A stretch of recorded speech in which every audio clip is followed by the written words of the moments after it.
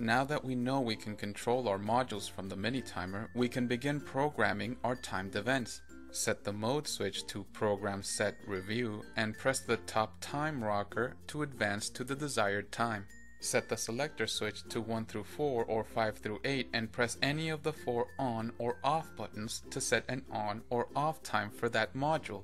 This will program the MT13A to turn that module on or off at that time every day. To set another timed event, advance to that time and press another on or off button as desired. Set the selector switch to 1 through 4 and then press the on button for number 1 to program our lamp module set to unit code 1 to go on at 12:45 a.m. every day. Next, we advance to 7 a.m. and press the off button for number 1 to program the lamp module to go off at 7 a.m. every day. To program our appliance module set to A8, set the mini timer selector switch to 5 through 8, advance to another time, and then press the on button for number 8. Continue in this fashion for each timed event. Once all of your events have been programmed, set the mode switch back to the run position.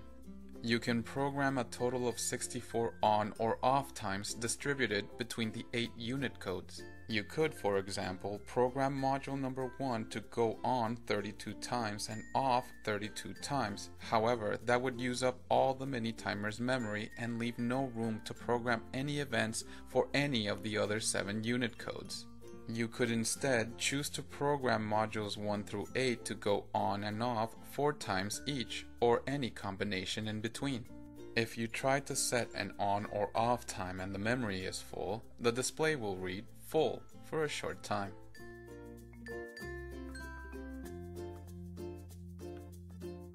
You can program your modules to go on and off at the same time every day or just once, say if you want your radio to wake you up once only for an early morning flight. There is even a security mode that automatically varies your program time each day so your home doesn't look like it's controlled by a timer.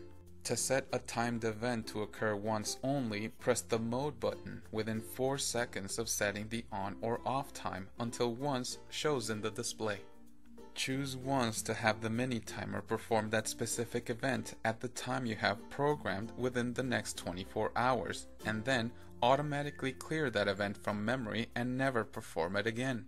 Simply pressing one of the on or off buttons will set an on or off time for that module to occur every day at exactly the same time.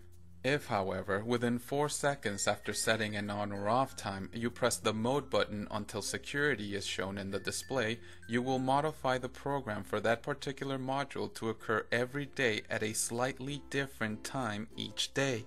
Choose security to have the MT13A perform that event at the time you have programmed on the first day and then occur at a different time within the hour on each subsequent day to give your home a lived-in look. You can mix once daily and security events for the same unit code up to the 64 maximum events for all 8 unit codes. To review or edit your timed events, set the mode switch to Program Set Review. If no events exist in memory, zeros are displayed, otherwise the first event found in the memory is displayed. While in this mode, if one of the four module on or off buttons is pressed without modifying the current time and no events are in memory for that module, zeros are displayed. If one of the four module on or off buttons is pressed without modifying the current time and events do exist, each press of the module's on or off buttons cycles through all events for that particular module. If one of the four module on or off buttons is pressed after modifying the current time, then the time is stored as a new event for that module. While displaying any time for any module, it can be deleted using the clear button. All events from a module can be cleared by pressing clear multiple times until the display shows zeros. If an event time is modified in error, press clear. The previous event is now displayed and can be deleted if desired by pressing clear again. If the mode switch is moved after a time has been changed and without a module on off button being pressed, the time is discarded and not stored in memory.